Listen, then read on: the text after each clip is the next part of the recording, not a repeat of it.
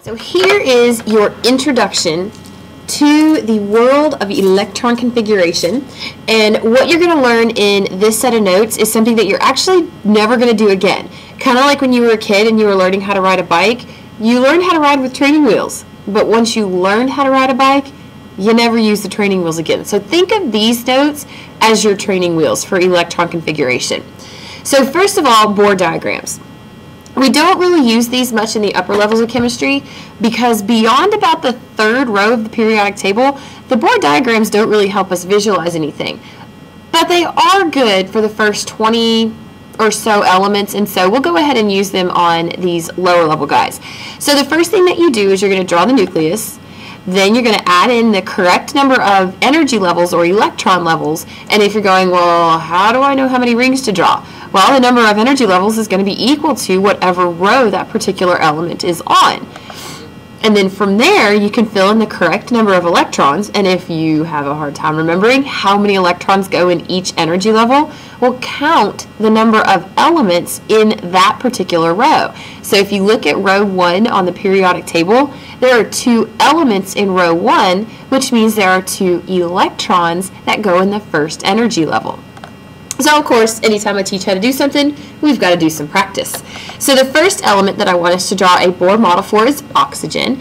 And the first thing that you're going to draw is the nucleus for oxygen. And according to the periodic table, oxygen will have eight protons, and we'll use the most common form of oxygen, which is oxygen 16. So it's going to have those eight protons, and it's also going to have eight neutrons.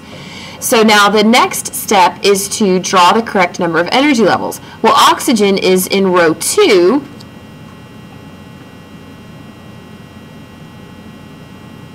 So we're going to draw two expertly drawn, if I do say myself, energy levels.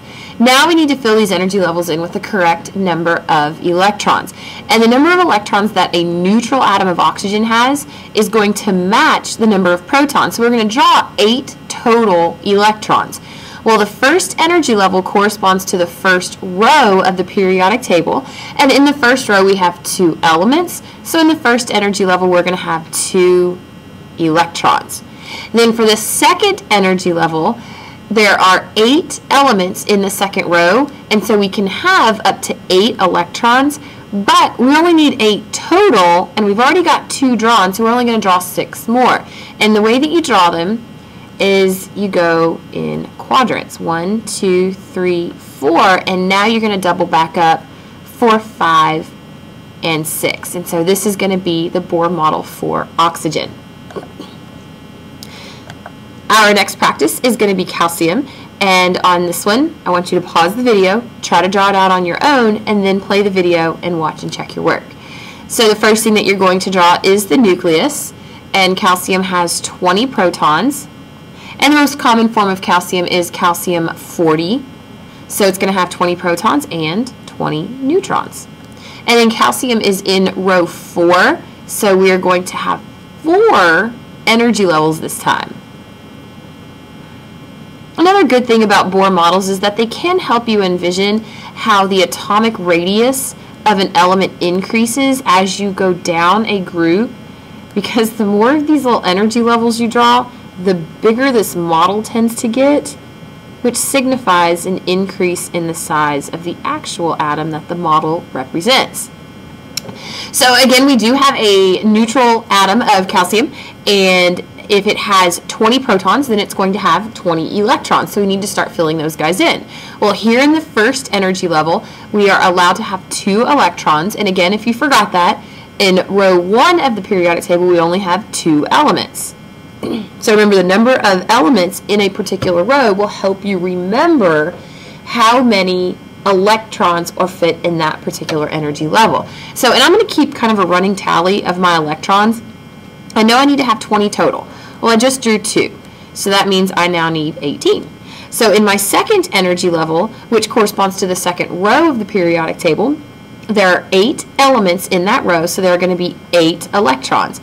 And remember, you fill them in, just kind of going around, and it's not until the fifth electron that we double up. And be really careful when you're filling in these dots that you follow the correct line because sometimes it's easy to get off. So we just took care of another 8 and we are down to 10. And on the third energy level, we still have 8 elements in the third row. So I'm again going to draw 8 electrons.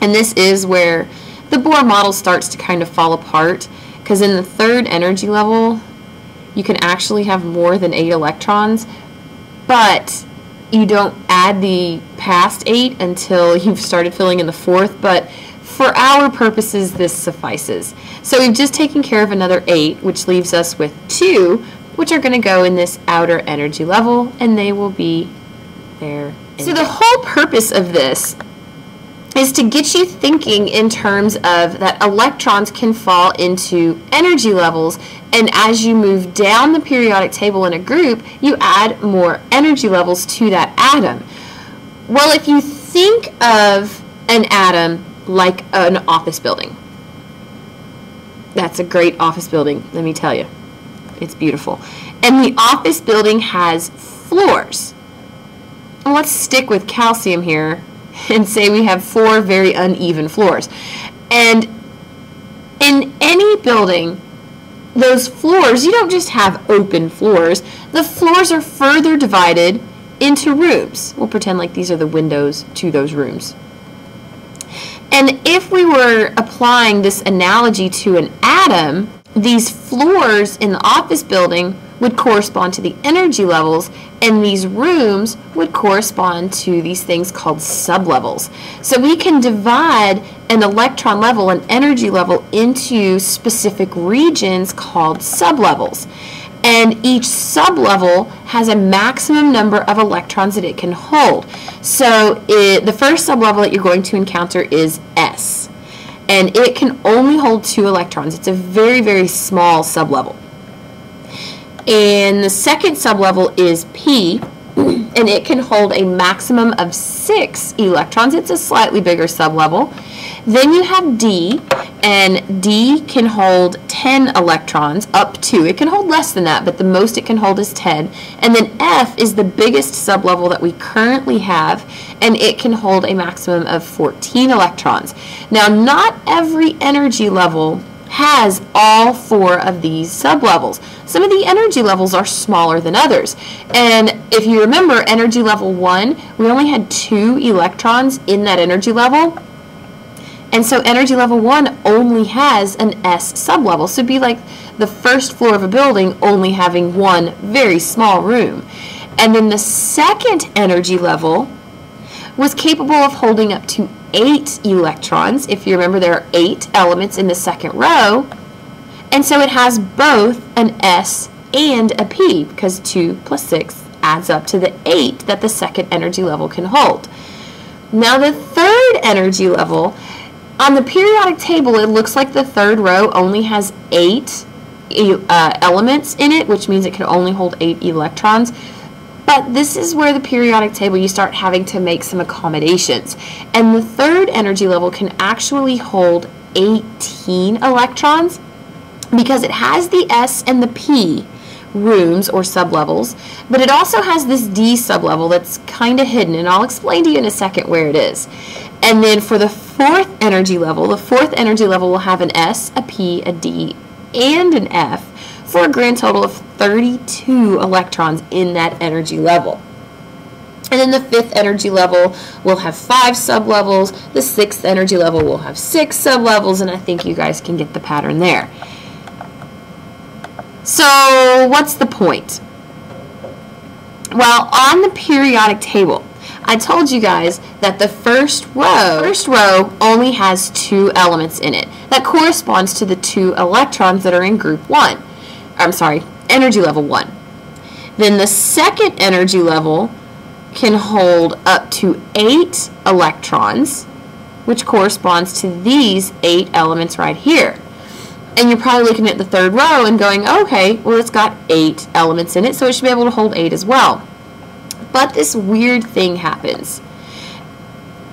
These two rows of elements, these two groups of elements correspond to what's called the S block because each of these elements has its valence electrons being filled in the S sublevel.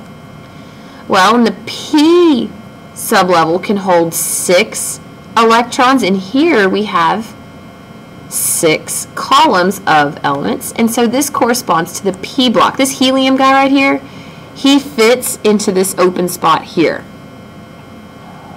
It's the one and only time that helium does not fit into the noble gas category. It still does by property, so he's over here for good, but just in this one situation. Now, the D block I said existed in the third energy level. Well, the D block can hold 10 electrons. And if you notice, right here in this center, we have a group of electrons that's made up of 10 columns. And so this is the D block. And the F block is our last little set down there on the bottom. And the D block and the F block, they have so much energy, you can kind of think of them as being like overweight with energy, that they fell down an energy level. If, if this confuses you, then just ignore what I'm about to say. But this first row right here in the D block actually corresponds to energy level 3.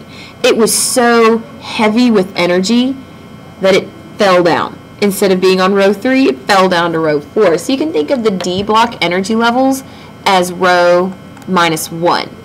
And the F block, remember this little section right here, it fits in right there in rows 6 and 7. So this is actually row 6, and this down here is actually row 7. Well, the F block was so heavy with energy that it fell down two rows. And so this row right here that's in row 6 of the periodic table actually corresponds to 4F, the F row in the fourth energy level. So F block is row minus 2. Don't worry about completely understanding all of that now. Once we go full on electron configuration, you'll understand what this means. Okay, so let's do a little bit of practice. How many of each sublevel are filled? Now this is the training wheel part. Once you learn how to do real electron configuration, you'll never do what we're about to do again. But this will just help you get the general idea of what it is that you're doing. So chlorine is over here in group 17 and it's on the third row. So if we were filling in the electrons of chlorine, what sublevels would we get to? Well, we would go through one, two, three S sublevels. And we would go through one whole P and then a partial P. And so I'm just going to call, anytime we have a partial filled sublevel, I'm just going to call it a half. I know that that's not exactly half, but it's close enough for our purposes. So one half just means partially filled. And we didn't go through any of the D block, and we did not go through any of the F blocks, so I just left those guys zero. Well, what about iodine? Well, iodine is over here, way down here, again in group 17, but now we're on row 5. Well, how many S's did we go through? We went through five different S's to get to iodine. And when I say we went through, you read the periodic table when you're doing electron configuration like you read a book. Left to right, and then top to bottom. Just like you're reading a book. So in reading our little table and getting to iodine, we would have read through five S's. We would have read through one, two, three, and a partial P. So remember we'll call that three and a half P. You can see right here we would have read through this D and we would have read through a second D. So we went through two Ds, but we didn't hit any Fs at all, so no Fs. One last example, let's look at calcium. So calcium is right here in the fourth energy level, second group. So to get to calcium, we would have gone through four whole S's. Now you're probably going, wait a minute, we stopped here. Yeah, we did stop here, but this is the end of the S, so we actually got all the way through the fourth energy level of S. Now for P, we would have read through this one and this one, but we actually wouldn't have gotten to this one yet, so we only would have gone through two P's, We didn't make it to any of the D's. We got really close to getting to a D, but we didn't quite get there, and we didn't get through any of the F's.